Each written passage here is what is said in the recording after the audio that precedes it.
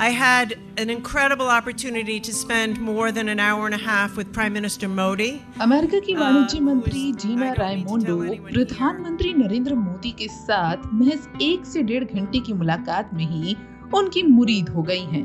ये हम नहीं कह रहे बल्कि इंडिया हाउस में शनिवार को भारतीय अमेरिकों की एक सभा को संबोधित करते हुए खुद वाणिज्य मंत्री जीना ने ये बात कबूल की है।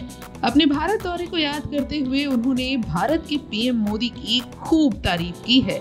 उन्होंने कहा है, मुझे पीएम मोदी के साथ एक घंटे से ज़्यादा समय बिताने का अविश्वसनीय अवसर मिला। वो एक कारण से सबसे लोकप्रिय विश्व नेता हैं। वो दूरदर्शी हैं और भारत के लोगों के प्रति उनकी प्रतिबद्धता का स्तर वास्तविक है। लोगों को गरीबी से बाहर निकालने और भारत को एक वैश्विक शक्ति के रूप में आगे बढ़ाने की उनकी इच्छा वास्तविक है और ये हो रहा है।